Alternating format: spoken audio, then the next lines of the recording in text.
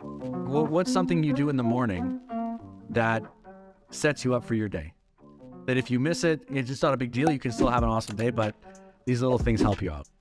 So, morning routines have been by far the best thing that I've implemented seven, eight months ago, almost 10 months ago now. But recently, literally the last like three and a half, four weeks, is priming, which you did today for the sales team in the, uh, what's it called, in the Winning Wednesday meeting.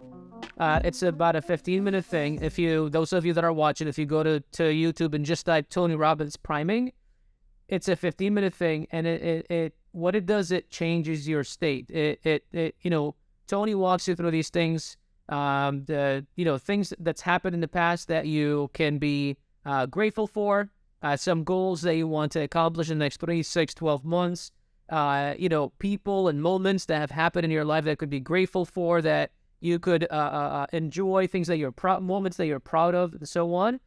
And then he does this like little prayer. And what that does, and then right after, I put on the Eye of the Tiger, and then I go into this this incantation thing that like he does, you know, in all of his events, like the the Gladiator one. There's another one that we did at Date with Destiny. It's called I Am the Voice. I do four incantations. Two I created, two are from him.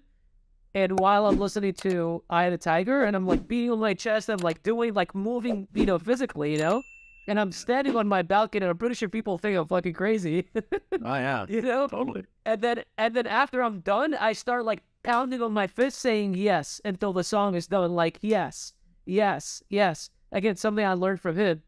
And then the whole thing takes maybe like 20 minutes. Hmm. 20 minutes and a 24 hours. But that puts me in such an incredible state that I can literally like eat an army in front of me. You know what I mean?